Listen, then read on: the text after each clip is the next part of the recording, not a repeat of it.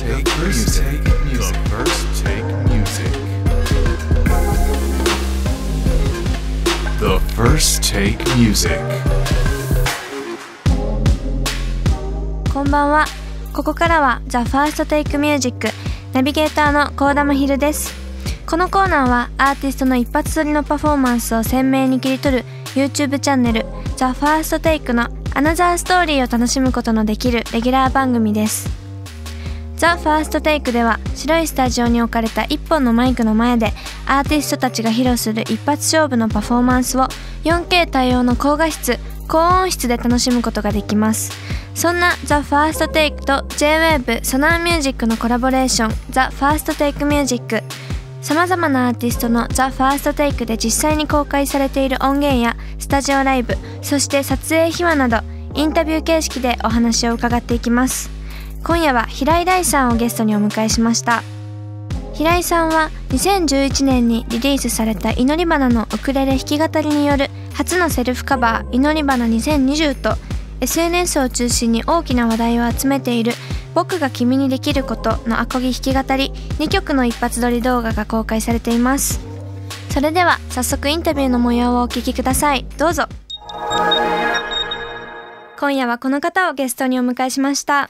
こんばんは平井大です。平井大さんよろしくお願いします。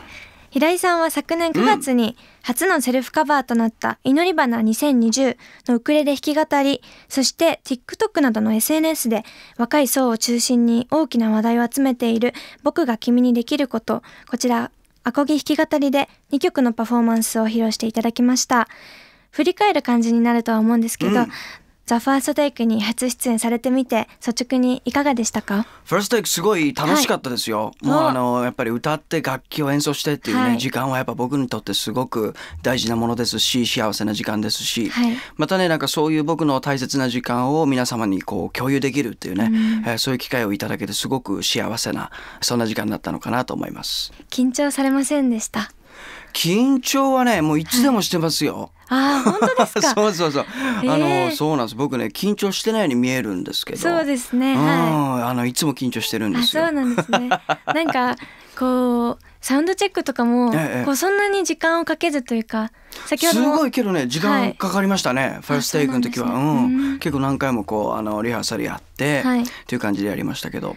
緊張してるようにはちょっと見えなかったんですけど。そうそこがちょっともったいないところですよね、えあのファーストテイクの撮影って白い壁に囲まれて、スタッフさんもいない状態で結構異質なええ空間だったと思うんですけど、どんなことをこう歌いながら思われたのか考えていたこととかってありますか？ーそうですね。あの結構その僕の自宅もね白壁なんですよ。あそうなんですね。そうだからねなんかこう家で弾いてるようなね気持ちになって、えーすごいねこうのんびりできたからよかったかなと思いますね。すね。うん。よくインタビューすると、ええ。やっぱりこう普段全然経験したことない空間とおっしゃる方が多いんですけど、ええ。自宅と結構似た感じで。そうそうあの家のね、うん。あの練習する部屋もあ全部白壁だからそうなんですよ。そこでこうなんか日が当たってるのかなっていうね。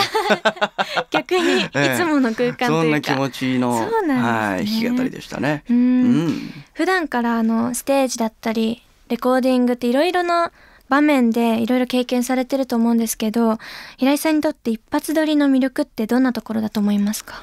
一発撮りそうですね。あの昨年にリリースした「ここにあるもの」という曲のオーケストラバージョン、僕あの一発撮りででミュージックビデオを撮ってでその時の音源をねそのミュージックビデオにもちゃんと使ってっていうのをやったんですけども、はい。やっぱりなんかそのその時にしかその出せない音であったりとか、うん。その時の自分の気分とかねあ今日やる気あるなとか、はい。今日やる気ないなとかね、うん そういうその時の気分も含めてその一発撮りっていうところに収録することができるので、はい。それはねなんかあのすごくミュージシャンとしては嬉しいことですし、うん。はい。なんかそのやっぱその一瞬のためにねこう生きてるっていう部分もありますから、うん。うんなんかそういうなんていうのかなその一瞬に全てが詰まってるというか、うん一発撮りってやっぱそういうものかなと思いますね。はい。うん。その時にしかこうできないこととかその時ならではのことがやっぱり録音されるというか特別感がありますよね。そうですね。うん。ええ。では今お話にも出ました題名のない今日改めてこの曲に込めた思いも含めて、Okay 最後にラジオの前のリスナーにメッセージをお願いします。この曲はですね2021年1月もうね本当にあの僕のスタートの曲にもなったというところで、はいなんかねこうまあ昨年2020年っていろんなことありましたしね。やっぱりこう日常生活の中でも当たり前のその風景であったりとか、い。当たり前にしていたことがやっぱり当たり前ではなくて、うん。それはすごく幸せなことだったんだなっていうふうにねあの2020年はこう気づくことができた1年でもあったので、はい。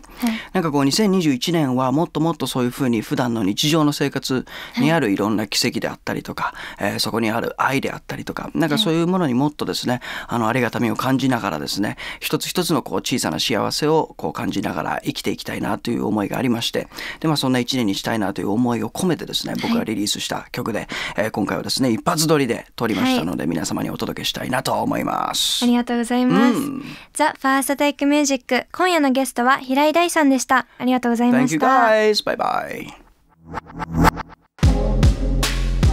改めましてザ・ファーストテイクは毎週金曜日水曜日夜10時にさまざまなアーティストのパフォーマンスが更新されますがザ・ファーストテイクの公式 SNS では歌う前の様子が少し投稿されますこちらもチェックしてくださいねザ・ファーストテイクミュージックここまではコーダマヒルがお届けしました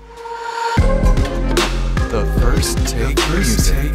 The first take music. The first take music.